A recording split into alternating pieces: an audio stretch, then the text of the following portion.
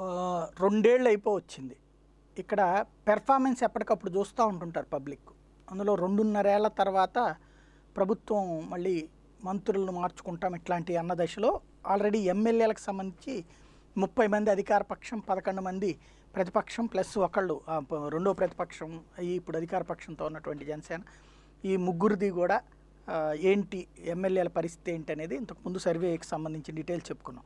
ఇక్కడ జిల్లాల వారీగా ఎమ్మెల్యేల పనితీరుకి సంబంధించి ఇరవై ఎనిమిది నుంచి ముప్పై శాతం పేర్లు అవన్నీ కూడా ఉన్నాయి కానీ అవన్నీ నేను మెన్షన్ చేయట్లేదు. ఆ ముప్పైకి సంబంధించి అయితే తాజాగా మొన్నటిదాకా అది మెన్షన్ చేయలేదు. ఇప్పుడు ఏంటంటే రోజులు దగ్గరకు వస్తున్నాయి కాబట్టి చెక్ చేసుకోవాల్సింది ఒకటే ఇక్కడ.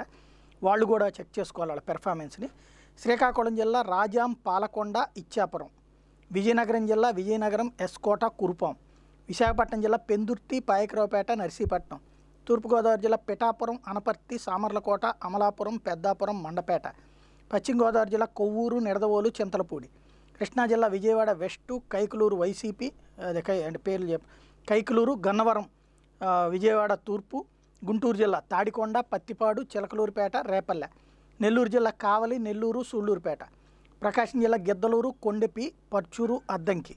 కడప జిల్లా రైల్వే కోడూరు చిత్తూరు జిల్లా పూతలపట్టు మదనపల్లె అనంతపురం జిల్లా పుటపర్తి తాడిపత్రి పెనుకొండ కర్నూలు జిల్లా కర్నూలు కోడుమూరు ఆలూరు.